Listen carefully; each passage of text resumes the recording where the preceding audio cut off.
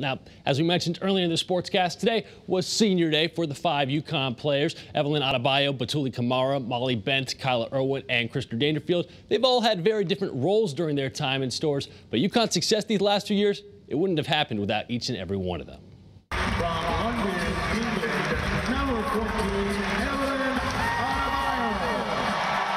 They asked me what's the biggest thing that UConn is to me, and I said family, because literally it's like one big sisterhood here. Everyone really cares about you and wants the best for you. From the people I've met, to the coaches, to the teammates, the support staff, the fans, like every, everyone's been so genuine and welcome and caring, you know. From New York, New York, number 32, Batouly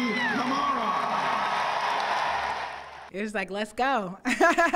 um, let's, and I just set some goals, like make sure they don't score. Um, you know, let's do well. And uh, you just, you don't really think much about it, but you're like, okay, you know, this is, this is an honor. And so many more have come before me. So definitely an honor and privilege for me. Massachusetts,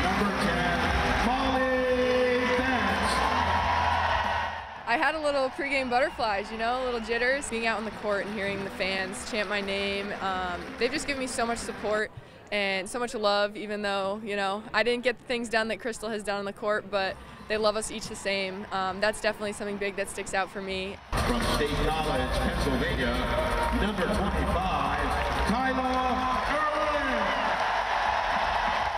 Don't cry, don't cry, don't cry. No, I'm just kidding. Um, just I was just so excited. I had so much energy uh, just to go out there and play with them, and I was really thankful that you know I got to go through all four years with them. It was so cool to see like stuff from our freshman year and see how much we've grown.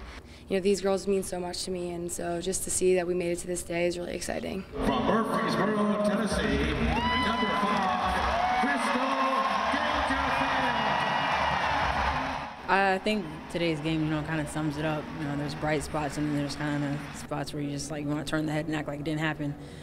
Um, but um, four years, it's hard to put into words, but playing here at Gampel was a dream come true for me. We came in with each other, we're leaving with each other, and we, we saw each other grow and um, become uh, the young women that we are now.